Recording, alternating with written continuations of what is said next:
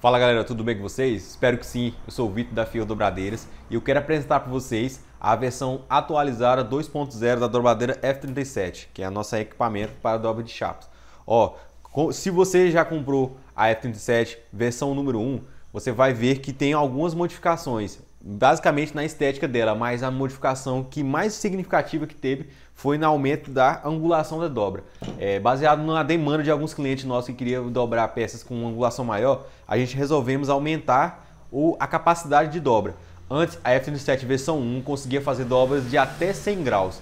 Agora, com a F37 versão número 2, você vai conseguir fazer dobras de até 120 graus.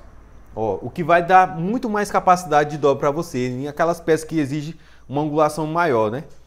Outra coisa, a gente modificamos, mexemos na estética dela. Pouca coisa. Você vai ver que as duas elas têm a mesma capacidade de dobra, continuam do mesmo jeito.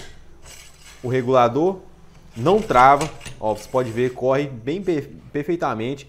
Você vai alinhar e pronto. Aqui são os, os olhares, onde você vai fazer a pressão do zinco na roldana para ele não deixar a dobra arredondar. Isso aí é o que dá, garante a qualidade e a perfeição do seu serviço, tá?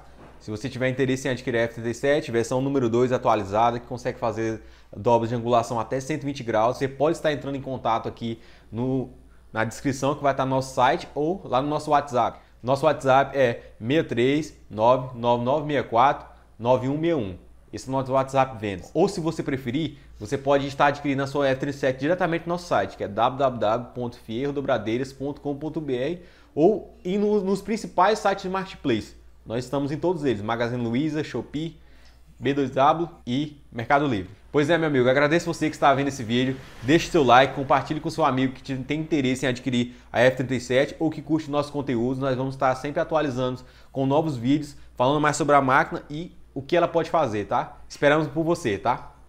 Valeu!